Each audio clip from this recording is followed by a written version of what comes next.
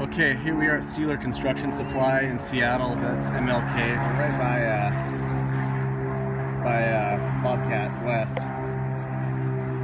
Um, we're looking at doing is replacing some of these concrete panels that are shot in bad bad shape.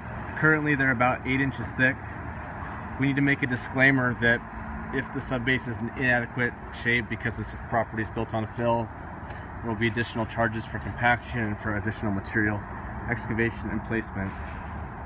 Um, and then for all these pa panels, I want to get Ron's input on this, but I want to do number five rebar every 12 inch on center, and I want to dowel into the existing slabs the best we can. So I really want to get his input on this. Um, section C1 and C2 are going to be the base bid. This is C1 right here. C2 is directly behind it, I'll show you. And then the other ones are kind of wish lists. Um, also, price out additional costs if we pour on a Saturday. They want to possibly do this where we can excavate Thursday, Friday, and pour Saturday. Everything's going to be broom finish, and these thing these uh, loads are, are pretty heavy here. They're, we're talking 30 tons on a forklift, and then fully loaded semis at 105.5. So that's why I wanted to get Ron's input on what to do here. So I'll give you measurements first. C1's a 13 by 52.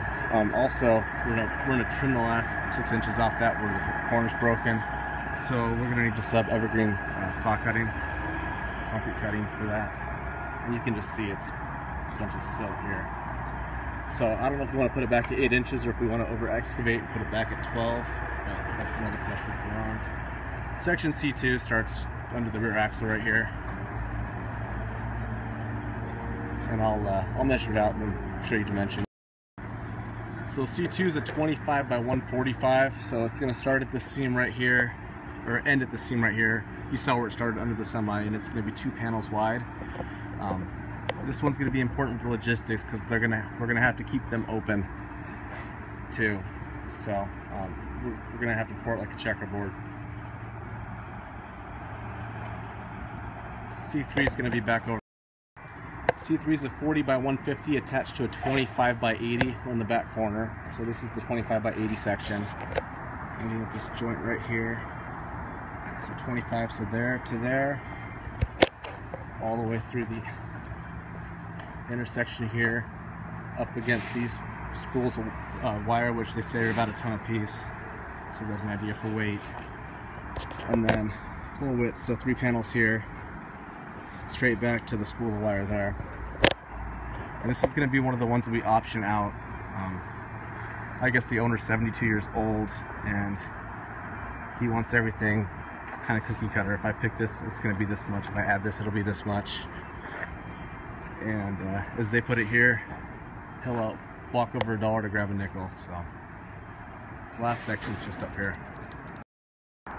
Lastly, C4 in front of us is a 25 by 25 around the catch basin.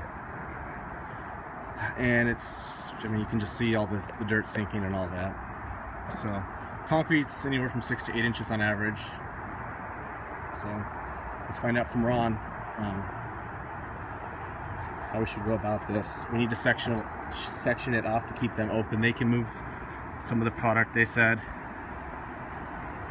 So that'll help and then uh, let's figure out what it costs to pour on a Saturday and throw that as an option as well. That is it.